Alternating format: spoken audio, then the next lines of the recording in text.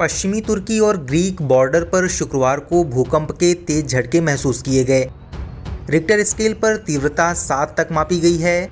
भूकंप के बाद ग्रीक में सुनामी ने दस्तक दे दी है। भूकंप ने तुर्की में भारी तबाही मचाई है। इजमिर में कई जगह इमारतें गिर गईं। शहर के महापौर कार्यालय के प्रवक्ता ने बताया कि भूकंप के झटके इजमिर शहर में महसूस किए गए और इसकी तीव्रता रिक्टर पैमाने पर 6.6 आंकी गई है।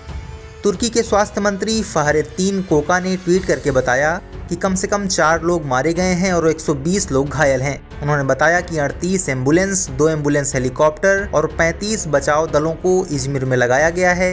इससे पहले राष्ट्रीय आपदा और आपात प्रबंधन कार्यालय ने भी भूकंप की यही तीव्रता बताई थी।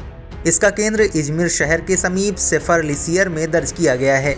तुर्की के पत्रकार मोहसिन मुगल ने कहा कि अभी तक छह लोगों की मौत की जानकारी है। 200 से ज़्यादा लोग घायल हुए हैं। 20 इमारतें गिरी हैं। राहत और बचाव कार्य जारी है।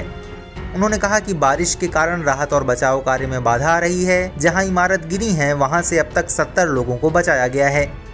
ग्रीक मीडिया के मुताबिक भूकंप से समोस के पूर्वी ईजियन सागर द्वीप पर एक मिनी सुनामी का भी कारण बना। इमारतों को नुकसान पहुँचा है। अमेरिकी जियोलॉजिकल सर्वे के मुताबिक भूकंप का केंद्र गिरीस के नॉन कॉर्लोवसियन शहर के उत्तर पूर्व में 14 किलोमीटर की दूरी पर था। इस खबर पर हमारी नज़र बनी हुई है। देश और दुनिया की बाकी खबरों की अपडेट्स के लिए हमारे चैनल लोकमत हिंदी को सब्सक्राइब कर लीजिए। अगर आप ये वीडियो फेसबुक पर देख रहे हैं तो हमारे पेज को लाइक और फॉलो कर लीजिए।